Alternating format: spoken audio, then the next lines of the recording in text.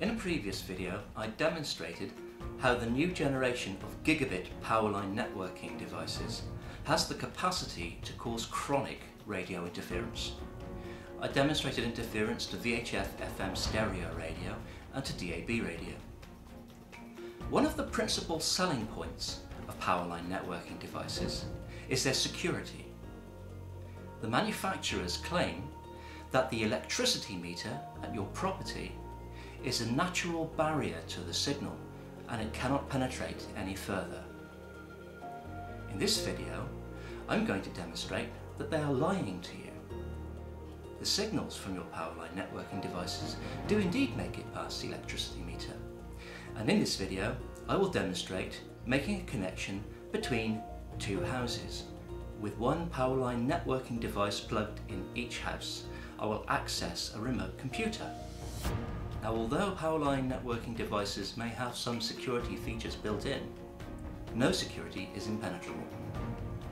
And in many cases, people who use powerline networking may not even remember to press the appropriate buttons to invoke the security features. This video is a warning to all people who think that by using powerline networking they are secure. You are not.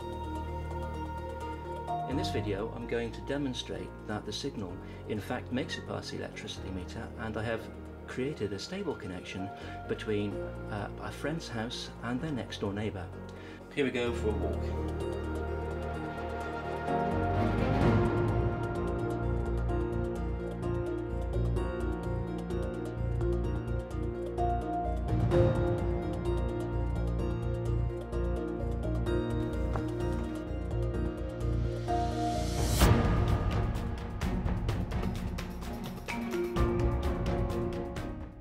I just finally want to confirm the route that the signal took between the two houses.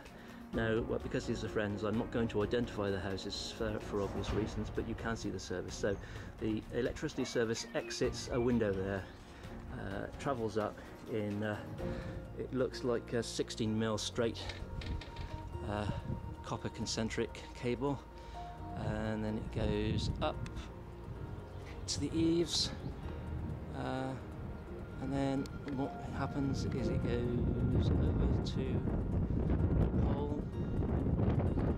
It's uh, quite a mess out there so it's not possible to identify exactly but leaving the pole on the same phase the electricity cable comes down to the next door neighbour's house and runs down the front of their house. Let's uh, zoom in a little bit. There we go and uh, goes into uh, the meter position near the front door.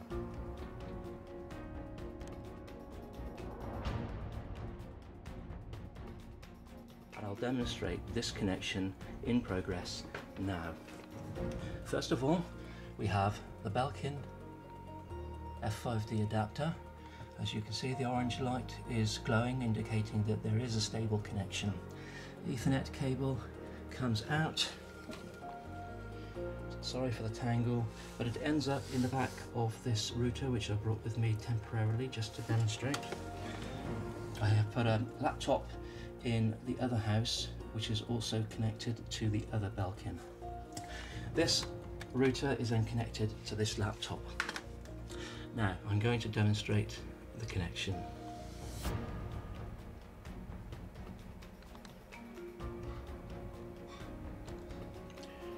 as you can see the Samsung which is the laptop in the neighbour's house uh, as you can see I've got access to the hard drive and access to the contents of the hard drive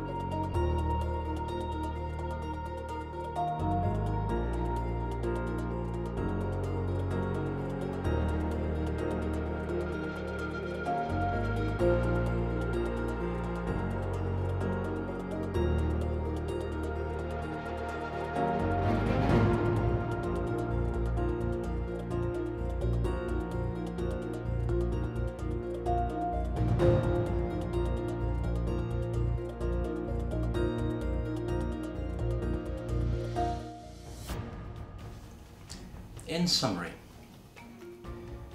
in the previous video where I demonstrated the interference, the video attracted some criticism from one or two parties regarding the technical level of the content. However, I felt that presenting complex engineering ideas were not really suitable for a video aimed for viewing by the general public.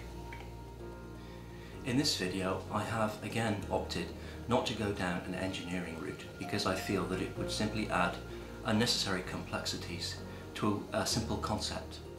Powerline networking technology, Powerline telecommunications, the manufacturers state that the signal generated by the PLT devices does not make it past the electricity meter. This video proves otherwise. Without getting too complicated, the properties in which both the laptops were sited were fed by electricity on the same phase. The distance that PLT devices can connect to each other over a distribution mains network is, uh, is uncertain. This video has proven that it certainly travels from the ring main of one house through its service cable to an overhead connection back down an adjacent service cable to an adjacent house. If the services were fed by underground cabling, there would be less noise. It is likely that the signal would be able to travel further. But this is untested.